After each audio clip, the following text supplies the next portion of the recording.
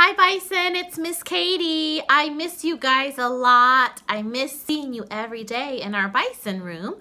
So I thought I would come on here and make a video of me reading a story for you guys.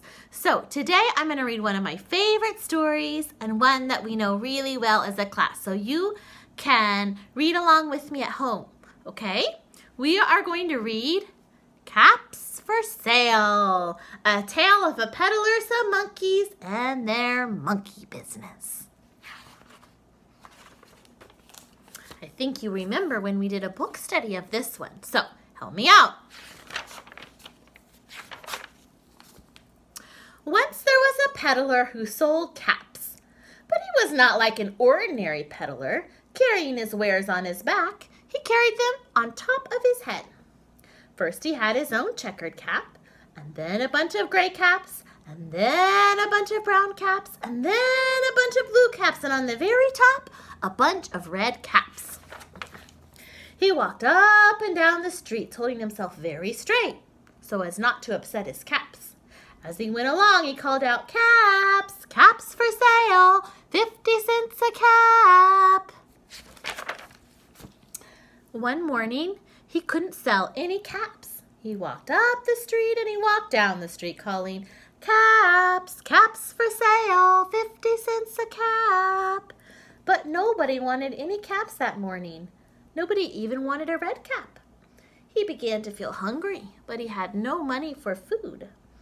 I think I'll go for a walk in the country, said he, and he walked out of town slowly, slowly, so as not to upset his caps. For a long time until he came to a great big tree. That's a nice place for a rest, thought he. and he sat down very slowly under the tree and leaned back little by little against the tree trunk so as not to disturb the caps on his head. And then he put up his hand to feel if they were straight. First his own checked cap, then the gray caps, and then the brown caps, and then the blue caps, and the red caps on the very top. They were all there, so he went to sleep. He slept for a very long time. When he woke up, oh, he was refreshed and rested. But before standing up, he felt with his hand to make sure his caps were in the right place. All he felt was his own checkered cap. He looked to the right of him. No caps. He looked to the left of him. No caps. He looked in back of him. No caps. He looked behind the tree. No caps. And then he looked up into the tree. And what do you think he saw? On every branch sat a monkey. And on every monkey was a gray, or a brown, or a blue, or a red, cap. The peddler looked at the monkeys. The monkeys looked at the peddler. He didn't know what to do. Finally, he spoke to them. You monkeys, you, he said, shaking his finger at them. You give me back my caps. But the monkeys only shook their fingers back at him and said, tee, tee, tee. this made the peddler angry.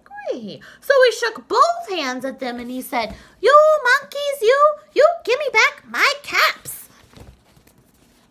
But the monkeys only shook both their hands back at him and said, Tee, tee, tee, tee, tee, tee. Well, now he felt quite angry and he stamped his foot and he said, You monkeys, you, you give me back my caps. But the monkeys only stamped their feet back at him and said, Ting, ting, ting, ting, ting, ting. By this time, the peddler was really very, very angry. He stomped both his feet and shouted, You monkeys, you, you give me back my caps. But the monkeys only stamped both their feet back at him and shouted, Ting, ting, ting, ting, ting, ting last he became so angry that he pulled off his own cap and threw it on the ground and began to walk away.